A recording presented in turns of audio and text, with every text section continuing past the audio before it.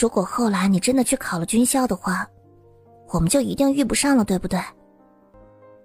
嗯，也有可能，如果你当年没有跟着我哥，我又没有惹下那样的事，你一定也就不会去给我当保镖了。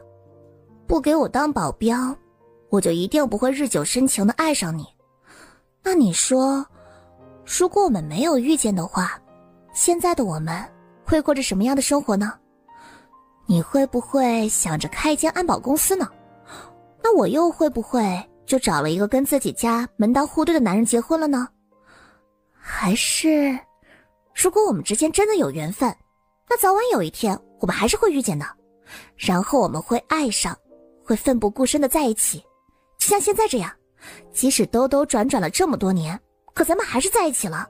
该遇见的总是会遇见的，不过可能那时候。我会换了一种身份认识你，也许吧。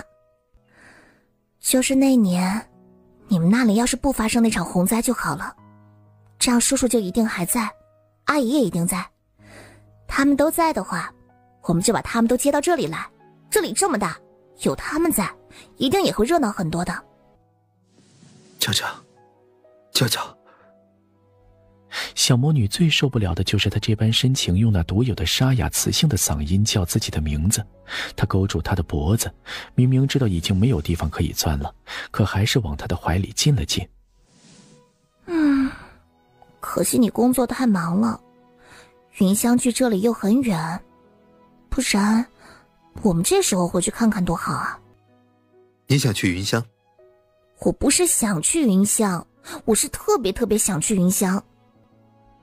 程巧巧说这些的时候，声音很轻，但却充满了无限的向往。